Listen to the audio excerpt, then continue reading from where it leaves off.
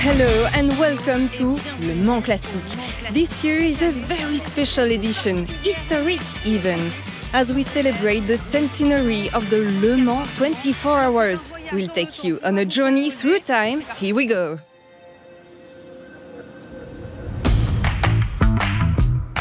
Le Mans Classic is the largest gathering of classic cars on the continent. Just imagine 10 grids of racing cars dating from the pre war period to the beginning of the 21st century. Several hundreds of cars for budding drivers, nearly 9,200 club cars.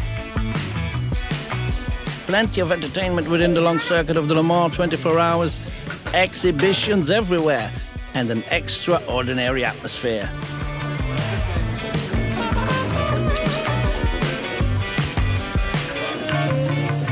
Le Mans Classic is much more than a meeting place for classic car enthusiasts. Le Mans Classic is an experience you cannot miss, even only for a day, or even better, four days. Alone, with family, with friends, with connoisseurs, between novices, there is something for everyone. Obviously, there are the drivers to take the wheel of the 850 cars entered in the Le Mans Classic races. Mostly gentlemen drivers, but also former Le Mans winners, such as double winner Gerard Larousse. Or Jurgen Barth, winner of the 1977 edition with a Porsche.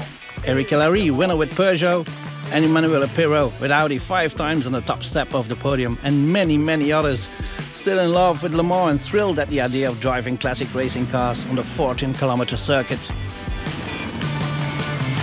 I love all cars. Ever since I was a child, I was very passionate about them. When I was six, I decided to become an F1 driver. And after that, I drove plenty of different cars, and one day I was lucky enough to discover this extraordinary machine. I do this to preserve these beautiful cars, have some great races, and put up a good show for the many spectators who come to admire these cars that still make us dream. And it's a centenary as well. It's an absolutely fantastic event.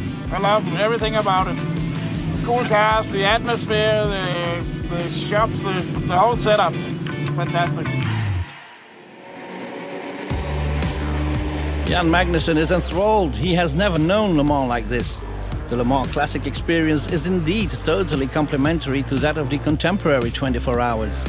Many of those who experienced Ferrari's historic victory and centenary festivities in mid June were also present at the Classic to celebrate once again 100 years of history of the world's greatest endurance race. And what event is more suitable than this one to celebrate a century of racing?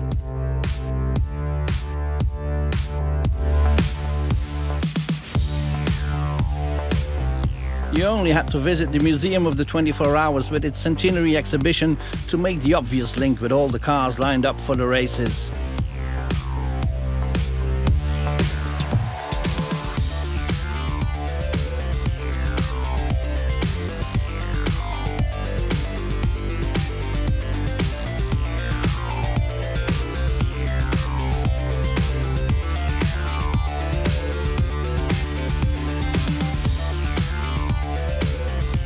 Better, the cars from the temporary exhibition, the vast majority of the original winning cars in the Le Mans 24 Hours, took part in an impressive parade on Saturday afternoon. Never again will we be able to see these cars together, or maybe in another 100 years. For this parade, he was at the wheel of the Matra he drove back in the day.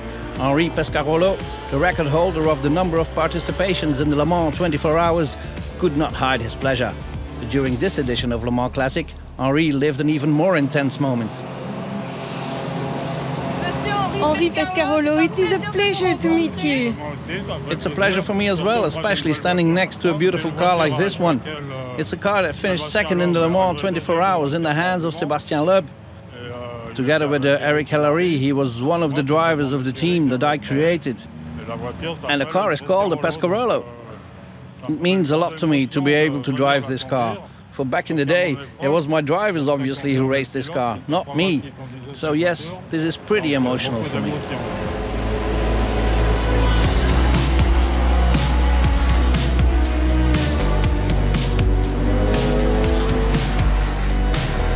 Together with Emmanuel Collard, Henri raced and won one of the races of the endurance racing legends, driving a car bearing his name. The ERL is the most recent racing grid at Le Mans Classic, with cars from the early years of this century and the end of the previous one, both prototypes and GT cars.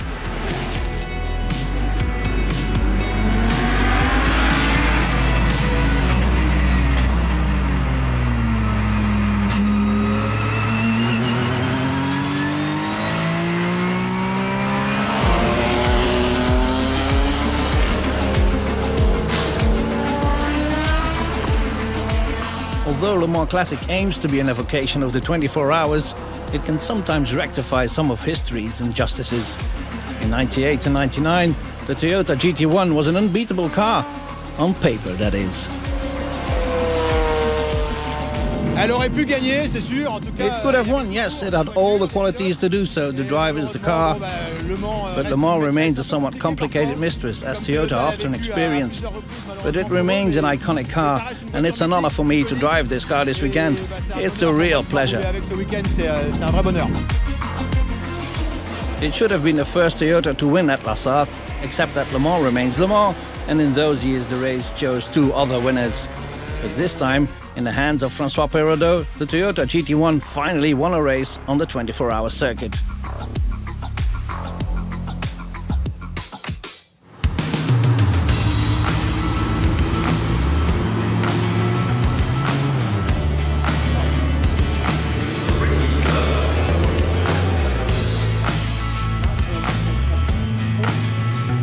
When Patrick Peter invented Le Mans Classic in 2002, he wanted it to be a celebration of endurance racing, an event for all generations.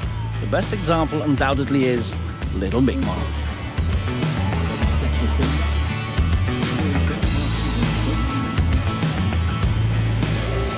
Nearly 100 kids between ages 7 and 12 drive on the long Le Mans circuit for their pleasure, but also for that of their mums and dads.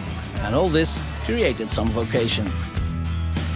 Would you have liked to do this as a child? Moi, j'aurais adoré mon fils. Of course, I would have loved it. My son did it when he was little, and now he's driving the real racing cars.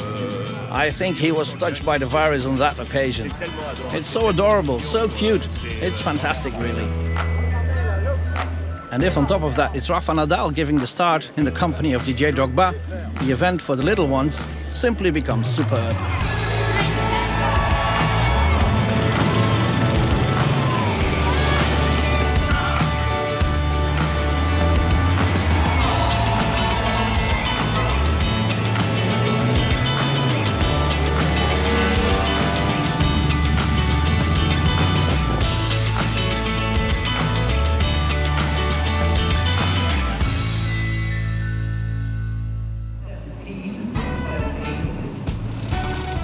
To fittingly celebrate the centenary, marked in the pre-war era by the Bentley boys, claiming five wins at the wheel of their powerful open machines, a lineup of more than 70 Bentleys from Benjafield's Racing Club acted as a support race to Le Mans Classic. Almost a century later, the passion for the British brand and the history of the Bentley boys at Le Mans is still very much alive.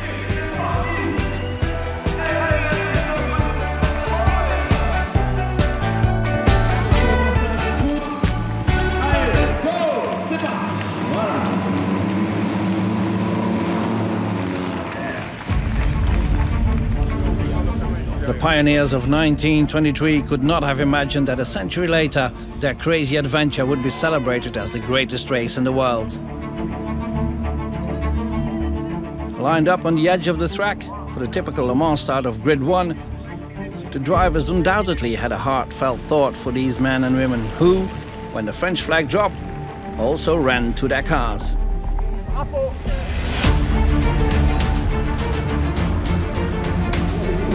For the starting procedure, you must engage the circuit breaker, open the fuel flow, feed the oil compressor, adjust the ignition advance, use a special button to get the fuel into the engine.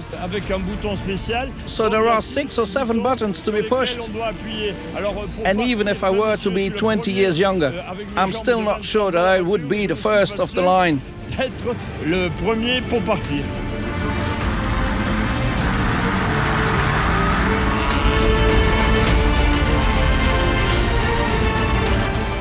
It was both a physical and intellectual effort for the drivers at the wheel of their incredible machines. Cars with often disappeared names such as Chenard et Walcker, the first winners, Saint-Gé, Talbot Lago, Tracta, Delage, Alvis Lagonda or even Delahaye like this 135S Le Mans. This chassis participated three times in Le Mans, but with different bodies because it burned down. And for its last participation in 1951, it was rebuilt with a striking streamlined body. The, the concept of this car was for that time already so amazing. The car is so easy to drive, uh, so re relaxing, and you can be really fast with this car. Um, the handling is fantastic, the brakes are fantastic. It's very easy with the Cotal gearbox uh, to shift uh, gears. It's, it's really relaxing. I'm also driving a 250 LM, but if you uh, uh, see how uh, more hard you have to work compared to this car, it is really amazing what they already did in 1936. On the other hand, at that time, the lights on the cars were not very efficient.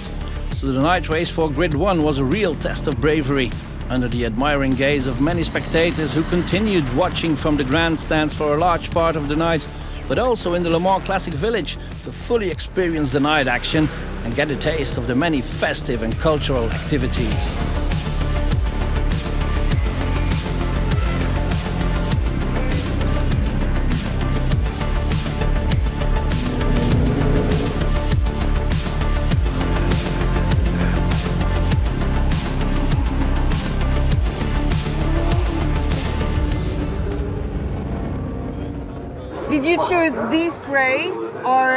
Just to watch a show? Watch all of it, all of it. All of it? All the races. experience the camping.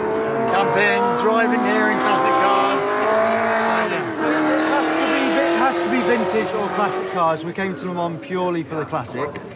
So we drove across in TR6. Triumph TR6, uh, for Ferrari. So we came in convoy and had a lovely drive down through rural France. 12 hours driving.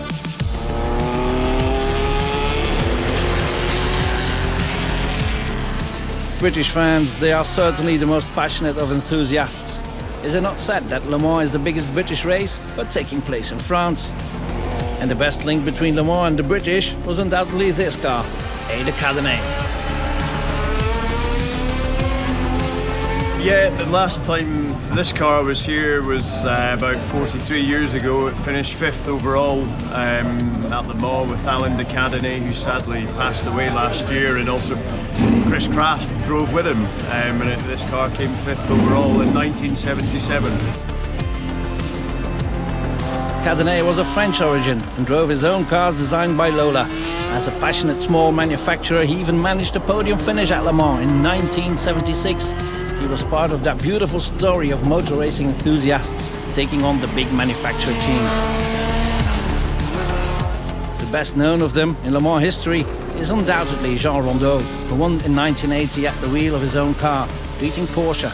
But before becoming Rondeau, the cars had another name. The Inaltera is a car built by engineer Jean Rondeau and financed by a wallpaper firm called Inaltera, led by Charlotte James. Even then it was an iconic car, for it was built in Le Mans, and it only took them eight months to do so.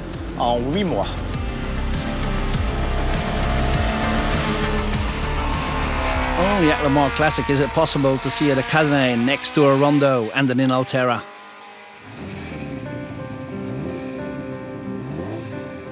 Nights are short in July and the sun peeks out over the pre-grid on Sunday morning. There are still many races to be contested in this edition of Le Mans Classic.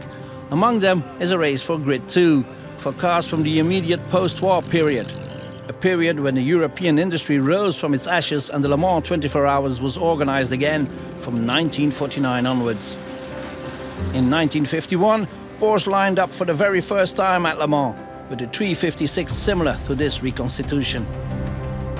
As for Renault, in 1953 they opted for this prototype, or at least a modified 4CV, to go fast on the Mulsanne straight. There are not many people that know this car. There's only one, based on a 4CV engine of 950 or 1000 cc, and it was built by Jean Rédélé, and he started from this small engine with only 70 brake horsepower to build a very light car. It only weighs 500 kilograms.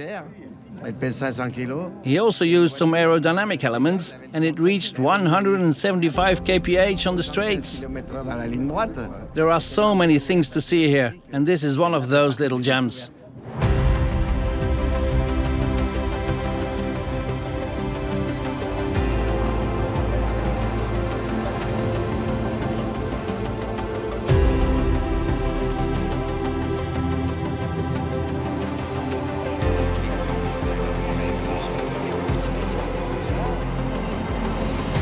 Berlin Rome 1938. Yes, Marine, this is the ancestor to the very first Porsche, the Type 64. In reality, it's a Beetle with bodywork by Ferdinand Porsche, designed to take part in the Berlin-Rome race of 1939, a race that was eventually cancelled when World War II began. Hi, Marine. Remy, how are you? Have a seat. But what a setup! That's how we do things. Very 60s, isn't it? That's what drives our club, the whole 1960s camping atmosphere. All of these accessories really add to the classic cars. Absolutely. Is this one of the reasons why the public attends this event? Exactly. For this atmosphere? These days, Le Mans Classic has become a more complete experience. It's not only about the races, it's also about what happens away from the track. And when you look at the size of the clubs during this edition, this is also why people visit this event. Sometimes they spend almost an hour with us, looking at every little detail on the cars and on the vans. And I always push our members to bring some period items. That could be a trailer that transforms into a boat like this one or small tables, or little tents. I always push them to bring those things, because I think it reinforces the experience we offer our visitors, because they are here to experience something, to travel through time for three or four days. Remy, thank you very much. The term experience really is key for Le Mans Classique, in particular when you walk around the clubs. More than 8,000 cars are participating in this event, an experience not to be missed.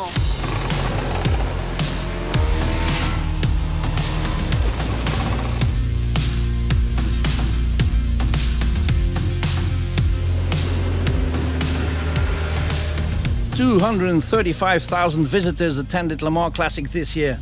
A dizzying figure which shows how much the automobile and its history are of interest to the general public. For many, visiting Le Mans Classic is synonymous with all kinds of experiences. The opportunity to drive around the circuit aboard classic vehicles, for example. We are entering the chicane ahead of the tire to attend an exceptional auction. 255 000 enchères ici. To admire unique exhibitions offered by major brands or federations.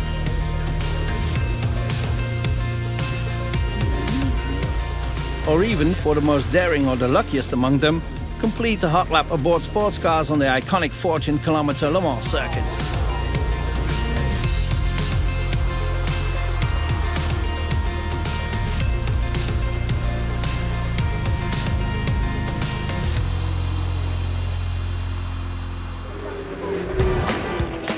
And during all this, there's one race after the other for 24 hours.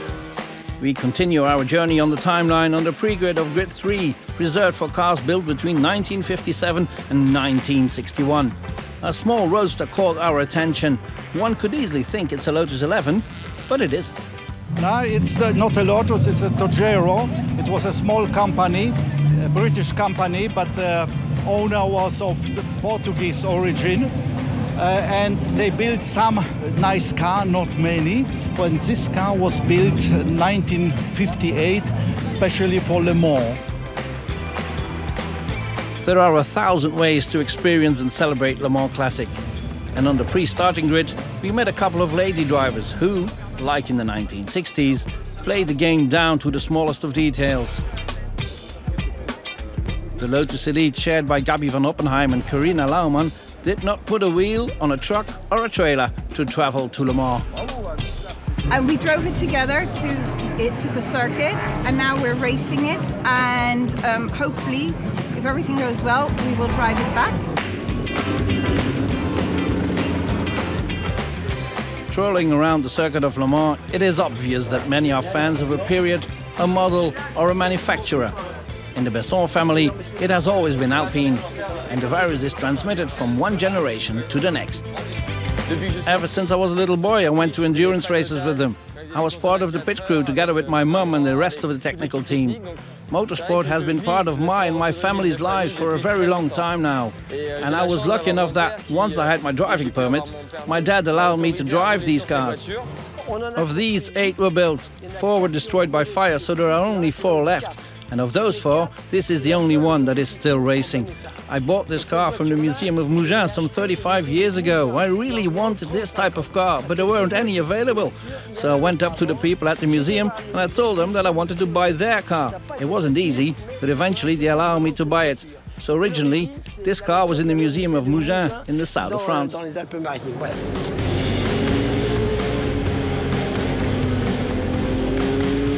With this A220 sporting a V8 engine, Alpine was aiming for overall victory at Le Mans in 1968 and 1969, but that goal would never be achieved. It must be said that in those years there was a hard fight between Ferrari and Ford first, and then Ford and Porsche, featuring one of the most legendary cars in the history of the 24 Hours of Le Mans, the Ford GT40. It's a 64. It's one of the uh, five prototypes two were destroyed in period here when they were testing early on, and then they were trying to sort out the aerodynamics. So this is one of the three that are left. It's a Mark 1, the one that won in, in 66 is a Mark 2. But yeah, a lot of the development work came from the five prototype cars. There's a ton of differences. The chassis is a little bit different. The noses are different. They ran four different noses on this car. This is the second iteration of the noses. So they were trying to figure out the aerodynamics. They played with canards and different things. So uh, they were still in the in in work process. And this is the Ford GT40, the original, the real one, the one immortalized by Hollywood in the Ford versus Ferrari movie. It's arguably the most famous racing car in the world. Uh, in my opinion, for sure, there's a, there's four Ford wins and uh, three winners, and this is one of the this is the first one. So the 1966 famous one, two, three finish. And we did a full restoration with uh, my friends in New Hampshire at Rare Drive, and we did a complete to try to make it exactly as it was in period, including the little fuses and the little all the little Shelby touches that they did for reliability. So uh, we tried to make it as close to how it started 66 as possible.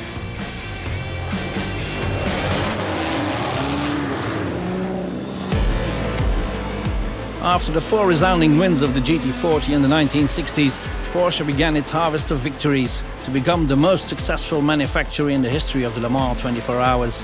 The German brand had an extremely successful period during the Group C era.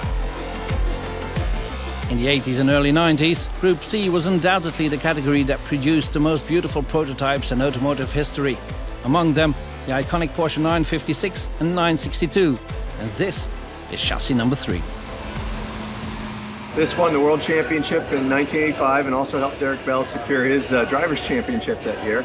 They uh, Here at Le Mans, they started uh, on pole, uh, finished third that year, and then they came back in 1986 and they uh, started third and uh, then won it outright. Also winning the Drivers' Championship in 86 and finishing second in the World Championship that year. So it's got a handful of other wins, including I believe Monza and I got to use my little cheat sheet here. Brands Hatch, Mosport, Hockenheim, second at Spa, Polk, um, yeah, and so on. So, marvelous car. A 962 with such a pedigree should be in the Porsche Museum in Stuttgart, and yet it's owned by a private collector. Years ago, Porsche made an offer on the car, and it's funny, Dad asked me, he's like, what do you think, Malcolm? I'm like, oh, heck no, we gotta hold on to that thing's cherry. So we have, and uh, boy, I'm, I'm blessed to be able to uh, step into this on a weekly or on a weekend basis. Porsche reigned over Group C for the first six years of the category. It was Jaguar that interrupted that series in 1988.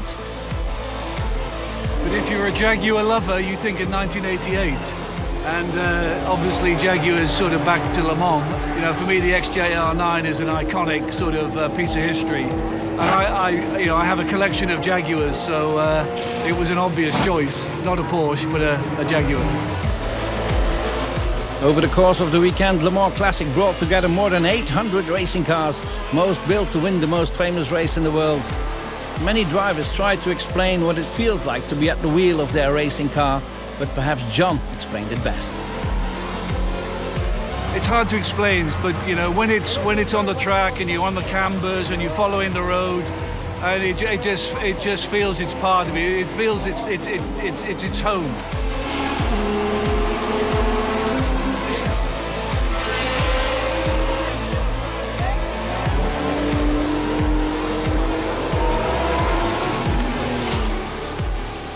This is how the 2023 edition of Le Mans Classic comes to an end, a celebration of the centenary of the Le Mans 24 Hours. Le Mans Classic will be back in 2025. See you in two years. The book on the centenary is now closed. You'll have to wait until 2025 for the next edition of Le Mans Classic, which, anniversary or not, will once again be an exceptional event, not to be missed under any circumstances.